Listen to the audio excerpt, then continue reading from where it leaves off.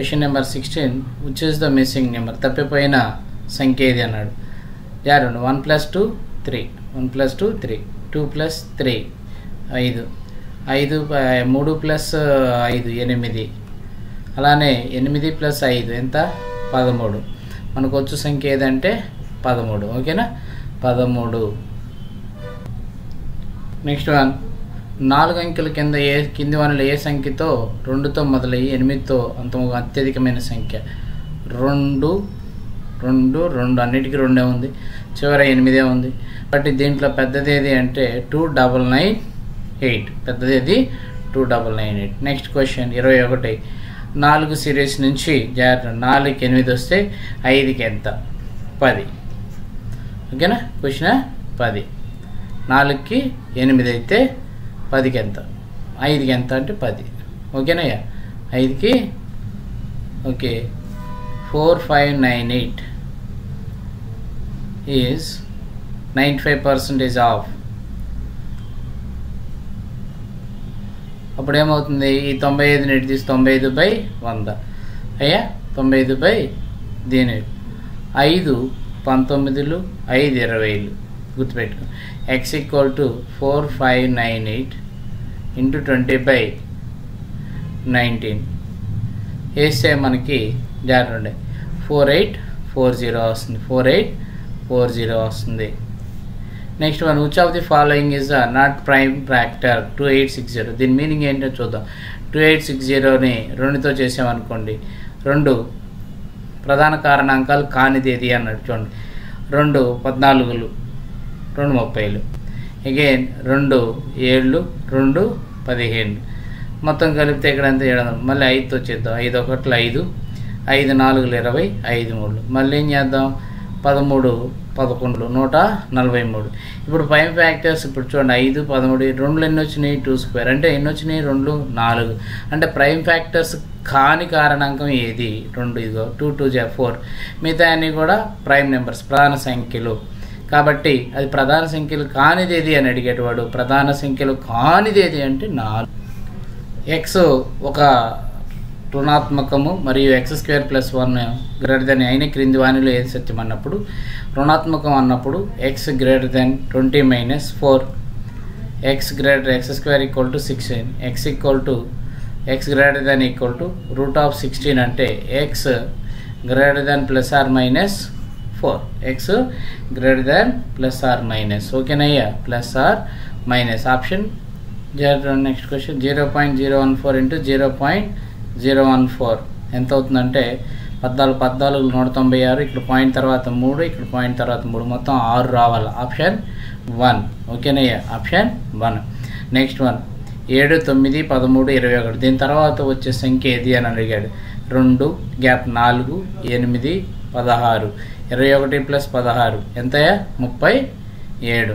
Okay ప్రతిదానికి gap ఎంత ఇక్కడ? రెండు నాలుగు ఎనిమిది ఇరవై ఒకటి ప్లస్ పదహారు అవుతుంది.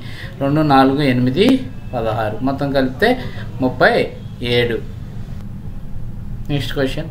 ఒక దీర్ఘగణం యొక్క పొడవు పది సెంటీమీటర్లు వెడల్పు ఎనిమిది సెంటీమీటర్ ఎత్తు ఐదు సెంటీమీటర్ అయినా దాని ఘనపరిమాణము L into B into H ఘనపు సెంటీమీటర్లో తెలుపమన్నాడు. పది ఇంటూ ఎనిమిది ఇంటూ ఐదు. ఎనిమిది ఐదు నలభై. నాలుగు వందల క్యూబిక్ సెంటీమీటర్స్. ఓకేనా? నాలుగు వందల దీర్ఘ ఓకేనా? ఘనమ యొక్క ఘనపరిమాణ ఫార్ములా ఏంటి? L into B into H next one so భిన్నమైన పదం ఏది కనుక్కున్నాం దీంట్లో. సో ఇప్పుడు ఇక్కడ చేస్తాడు ఏడు చేత భాగించబడుతుంది ఏడు చేత భాగించు ఏడు చేత భాగించబడుతుంది ఏడు చేత భాగించబడుతుంది. ఏడు చేత భాగించబడుతుంది ఏడు చేత భాగించ బట్ ఇది భాగించబడట్లేదు. ఆన్సర్ ఏమవుతుంది? అయ్యా అన్నీ కూడా ఏడు చేత భాగించబడుతుంది. అదొకటి మాత్రమే మనకి ఏడు చేత భాగించబడటం. నెక్స్ట్ నాలుగు సెంటీమీటర్ల వ్యాసార్థం కలిగిన వృత్తములో నిర్మించదగిన అతిపెద్ద చతురస్ర వైశాల్యము ఎంత? సో ఇది వ్యాసార్థం ఎంత అంటే ఇటు తీసుకోలేం కాబట్టి ఇటు తీసుకోగలం. ఇటు. సో ఇది నాలుగు సెంటీమీటర్లు ఇది నాలుగు సెంటీమీటర్లు. ఇది నాలుగు ఇది నాలుగు. అప్పుడు ఎంత అవుతుంది? కర్ణం చతురస్రం యొక్క కర్ణము డి ఎంత అంటే ఎనిమిది. మనకి చతురస్రం వైశాల్యం కనుక్కోవటానికి కర్ణం ఇచ్చినప్పుడు వైశాల్యం area equal to area equal to D square by two అంటే డి ఎంత అంటే ఎనిమిదిలు అరవై నాలుగు అరవై నాలుగు బై రెండు. అరవై నాలుగు బై రెండు మనకి. అరవై నాలుగు బై రెండు అవుతుంది. సో రెండు ముప్పై రెండు. ముప్పై రెండు. ఓకేనా? ముప్పై రెండు వస్తుంది.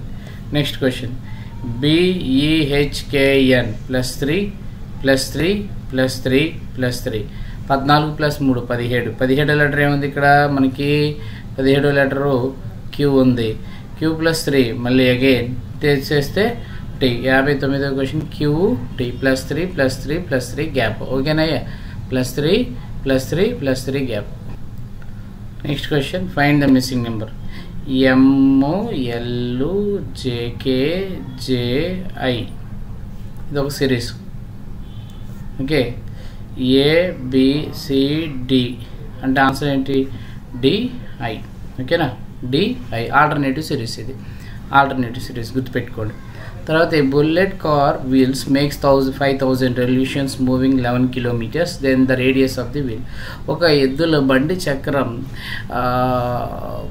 ఐదు వేల సార్లు తిరగడం వల్ల distance equal to N into two pi R ఇది ఫార్ములా సో చేస్తే జాగ్రత్త. డిస్టెన్స్ ఎంత? పదకొండు కిలో పదకొండు కిలోమీటర్లు ఇక్కడ ఆన్సర్ దేంట్లో ఉంది? సెంటీమీటర్లో ఉన్నాయి కాబట్టి డిస్టెన్స్ కిలోమీటర్ని సెంటీమీటర్స్లోకి మార్చుకోవాలి. అంటే ఒక కిలోమీటర్ ఈక్వల్ టు ఎంత అయ్యా ఒక kilometre equal to thousand metres అప్పుడు పదకొండు మీటర్లు కిలోమీటర్లు ఎంత అంటే పదకొండు వేల కిలోమీటర్లు. ఇది మీటర్లోకి మార్చుకున్నాను. మళ్ళీ మీటర్ వన్ మీటర్ అంటే సెంటీమీటర్లోకి మార్చుకున్నప్పుడు మళ్ళీ వంద. వేసుకొని ఎన్ ఎంత? ఐదు వేల రౌండ్లు తిరిగింది. టూ ఇరవై పై విలువ ఎంత అవుతుందంటే ఇరవై రెండు బై ఏడు. ఇది ఇక్కడ ఆరు విలువ కనుక్కోవాలి. జాగ్రత్త. మూడు సున్నాలు మూడు సున్నాలు క్యాన్సిల్. ఓకే ఐదు ఇరవైలు. ఓకే పదకొండు రొల్లు. ఓకే నెక్స్ట్ వన్ రెండు పదులు. రెండు ఐదులు. ఈ ఏడు ఇటు వస్తే ఏమవుతుంది? ఏడు ఐదులు ముప్పై ఐదు సెంటీమీటర్లు అయ్యాయి. ముప్పై ఐదు సెంటీమీటర్లు గుర్తుపెట్టుకోండి ఓకేనా? ముప్పై ఐదు సెంటీమీటర్లు. Next question which is the భిన్నమైంది? So పది ఇంటూ ఆరు ముప్పై ఇంటూ మూడు నలభై ఇంటూ ఆరు. ఇరవై ఇంటూ ఆరు. చేస్తే దీంట్లో భిన్నమైంది ఏంటి? ముప్పై ఇంటూ తొంభై. అలానే నెక్స్ట్ క్వశ్చన్ అరవై మూడుకి వెళ్తే పదహారు వందల రెండు ఇంటూ ఒకటి చేస్తే మనకి ఎంత వస్తుంది అంటే పదహారు వందల రెండు. ఇప్పుడు పాయింట్ తర్వాత ఇక్కడ ఎన్ని ఉన్నాయి? పాయింట్ తర్వాత రెండు అంకెలు ఇక్కడ పాయింట్ తర్వాత మూడు అంకెలు.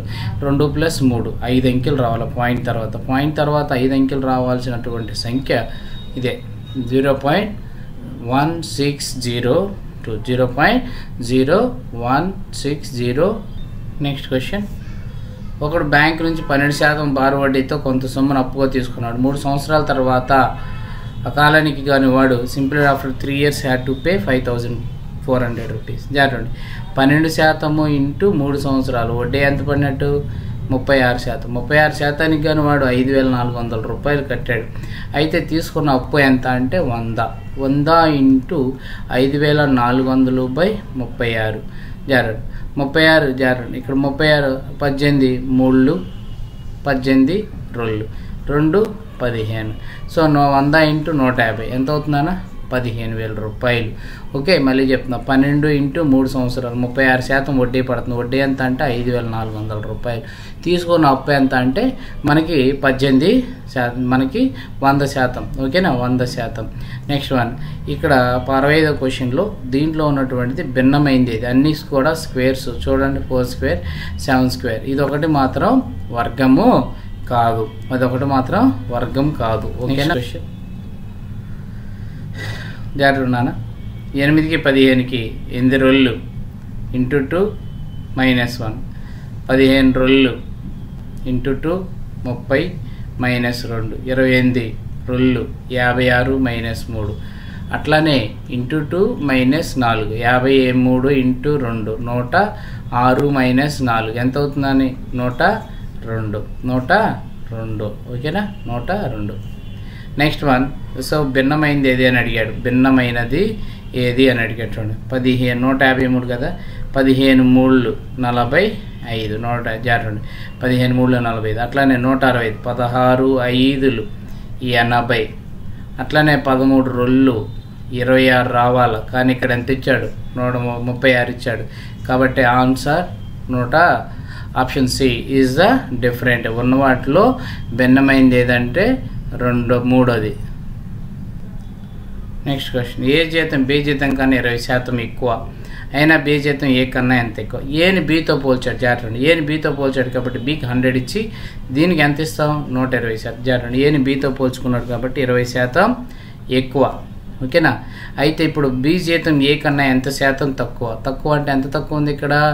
ఇరవై బై నూట ఇరవై నుంచి పోల్చుకున్నాం కాబట్టి ఇంటూ వంద. సున్నా సున్నా క్యాన్సిల్. రెండు ఆరులు. ఒకటి బై ఆరు అంటే ఎంత?